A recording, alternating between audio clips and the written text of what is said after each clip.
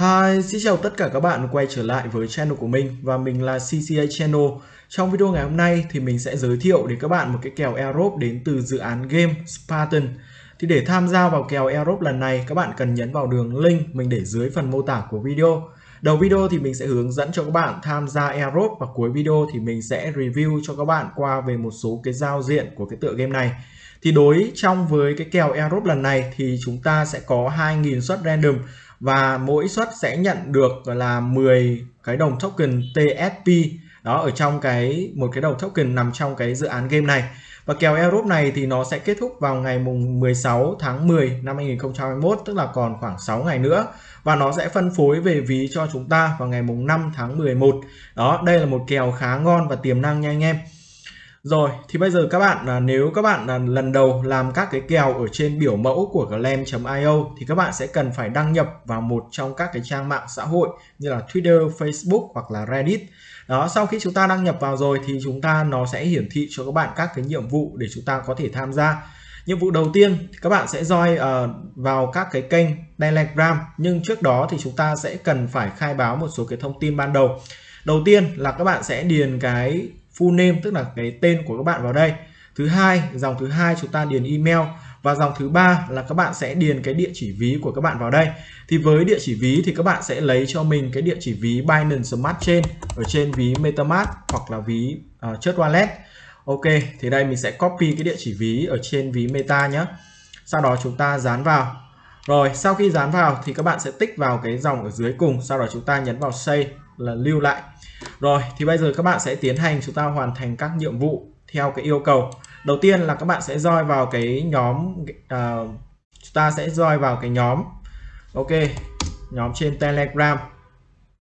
Nhiệm vụ thứ hai là các bạn sẽ điền cái username. Ở đây thì các bạn sau khi roi vào thì các bạn sẽ cần phải khai báo cái username luôn. Thì các bạn sẽ vào dấu ba gạch phía trên góc trái màn hình của cái trang telegram sau đó các bạn kéo xuống ở cái phần setting, chúng ta chọn phần edit profile. Sau đó copy cái username của chúng ta vào. Copy. Ok, sau đó các bạn dán vào đây là xong nhé và các bạn lưu ý là các bạn cần phải thêm cho mình cái dấu a còng ở phía trước cái username của chúng ta. Rồi, nhấn vào continue. Nhiệm vụ thứ hai cũng là một cái nhiệm vụ do channel. Ok, thì đây các bạn kích vào phần do channel. Đây là hai cái kênh để chúng ta cập nhật thông tin của cái dự án rồi sau đó thì các bạn cũng sẽ điền cái username telegram của chúng ta vào và nhấn vào continue. Ở cái nhiệm vụ ở phía trên. Rồi ok tiếp theo nhiệm vụ thứ ba là các bạn sẽ follow của dự, à, cái trang của dự án ở trên trang Twitter.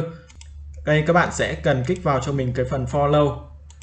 Rồi sau đó chúng ta quay lại nhấn vào continue. Nhiệm vụ tiếp theo là các bạn sẽ retweet một cái bài viết của nó ở trên cái trang Twitter này.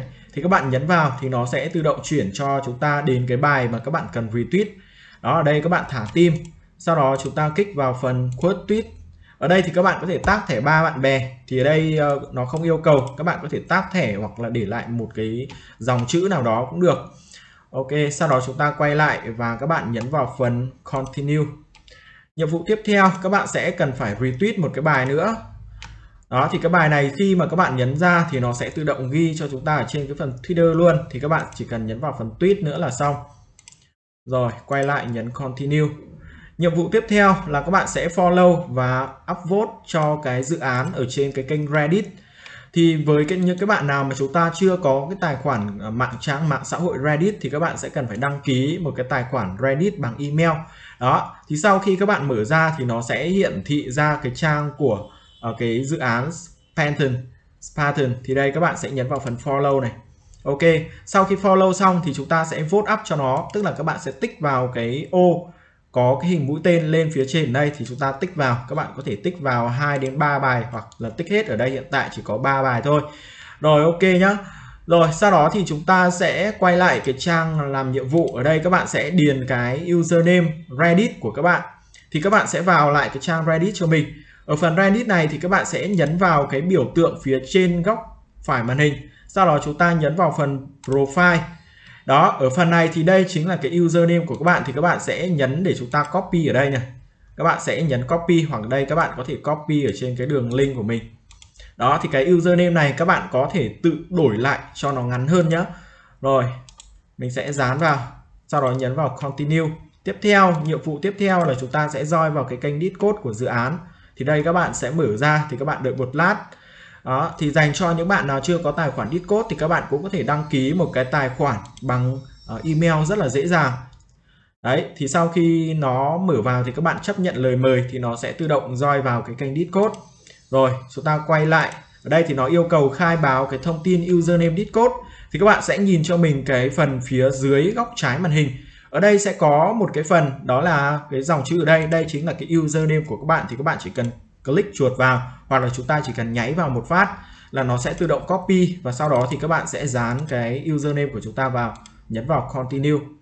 Tiếp theo là chúng ta sẽ cùng xem qua cái website của dự án. Đó. Rồi, sau đó các bạn quay lại nhấn vào continue. Và cuối cùng thì à, chúng ta sẽ xem qua cái kênh YouTube của nó nữa. Sau khi chúng ta hoàn thành tất cả nhiệm vụ thì nó mở khóa thêm một cái nhiệm vụ xem cái kênh YouTube. Đấy, thì chúng ta chỉ cần xem qua đó và các bạn quay lại thì nó đã hiện lại dấu tích rồi. Bây giờ uh, nó sẽ cho các bạn một cái đường link rep thì các bạn có thể chia sẻ cho bạn bè của chúng ta tham gia để đua top. Rồi và cuối của video này thì mình sẽ review cho các bạn về cái tựa game này xem thử cách chơi của nó như thế nào đồ họa của nó ra sao nhé thì đây chính là cái giao diện hình ảnh của cái tựa game này. Đó tuy nhiên thì cái game này mình nghĩ là cái phong cách chơi của nó khá là đơn giản nó giống như những cái trò chơi vui thôi đấy thì uh, trong cái game này thì sẽ có các cái tính năng như là tháp quốc phòng rồi là NFT nuôi tức là quân đội của chúng ta cho phép người chơi kiếm thêm mã TSP uh, ờ, TSP và thu thập uh, tháp pháo tháp NFT gia tăng cái giá trị tài sản cho người nắm giữ. Tiếp theo là cái phần NFT Marketplace thì cái phần này dành cho các bạn chúng ta có thể trao đổi buôn bán các cái vật phẩm NFT của chúng ta cuối cùng là phần battle. À, battle thì nơi để các bạn có thể à, vượt phụ bản này chúng ta chiến đấu để các bạn kiếm thêm cái đồng token TSP đấy thì hiện tại cái game này nó đang trong cái giai đoạn ở ban đầu. Đầu tiên cái giai đoạn đầu tiên thì mình nghĩ ở cái phần này thì nó chỉ mới đi được đến một hai bước ở đây thôi. Đó. Còn đến cái phần là liệt kê lên pancake swap tức là nó sẽ list lên pancake swap thì mình nghĩ là còn cuối tháng cuối quý 4 này thì nó mới sẽ bắt đầu. Ok thì đây là một số cái NFT ở trong game. Thì ờ, uh, NFT ở trong game chủ yếu là các cái tháp bắn cung có tháp bắn cung này tháp pháo tháp ma thuật và tháp lửa. Thì cách chơi của nó thì các bạn có thể hình dung qua đây. Thì mình tin cái trò này thì mình nghĩ là có rất là nhiều bạn đã từng chơi qua rồi. Thì các bạn có thể thấy là chúng ta sẽ mua sưu tập các cái NFT tức là các cái pháo đài ở đây. Đó và các bạn sẽ thấy những cái đường này đó, thì tất cả quân địch thì nó sẽ đi theo một cái đường như thế này. Và việc của các bạn sẽ là đặt các cái pháo đài của chúng ta làm sao cho hợp lý để nó có thể bắn hết các con địch. Đấy và không để quân địch vượt vào cái cứ địa của chúng ta thì các bạn có thể nhìn thấy đây là một số cái phần. Đó tháp này thì các bạn đặt thì nó sẽ tự động bắn và quân địch thì nó đi liên tục ở đây và cái tháp của chúng ta sẽ bắn liên tục. Đó và cái mục tiêu của chúng ta là cản quân địch làm sao không cho nó không cho nó đi vào cái cứ địa của chúng ta. Và cứ sau mỗi lần thắng hay là vượt qua một cái ải nào đó thì các bạn sẽ nhận được cái đồng token T, TPS đó thì à, với cái phần này thì chúng ta còn có nhiều cái tính năng nữa. Ví dụ như là các bạn có thể nâng cấp các cái tháp pháo của chúng ta nâng cấp tháp pháo lên các cái level cao hơn để tăng cái sức mạnh của tháp pháo. Đó.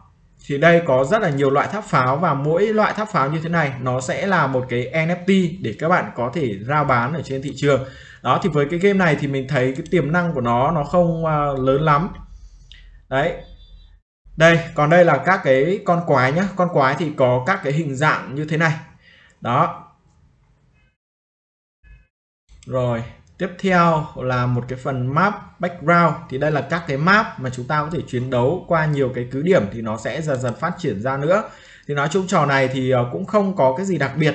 Ngoài ra ấy, thì các bạn có thể có những cái chiến binh. Một cái phần này nữa thì mình cũng uh, nghĩ là nó sẽ có sẽ có ở trong game là chúng ta sẽ sưu tập các cái chiến binh, mua các cái chiến binh của chúng ta để chúng ta vừa dùng tháp để phòng thủ, nhưng các bạn cũng có thể triệu hồi các cái chiến binh để chúng ta là ra đánh nhau với cái quân địch. Đấy. Thì đó là cái cơ chế chơi của cái tựa game này. Thì đây là một trò chơi mình nghĩ là à, cái chế độ play to earn nó khá vui. Ok, và video hướng dẫn của mình tới đây là kết thúc. Nếu bạn thấy video này hay và hữu ích thì đừng quên để lại cho mình một like, một subscribe để ủng hộ kênh của mình. Xin chào và hẹn gặp lại tất cả các bạn ở những video tiếp theo.